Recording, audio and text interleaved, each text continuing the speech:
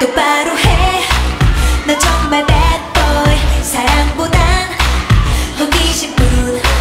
그동안은 너 때문에 깜빡 속에서 넘 먹은 거야. 넌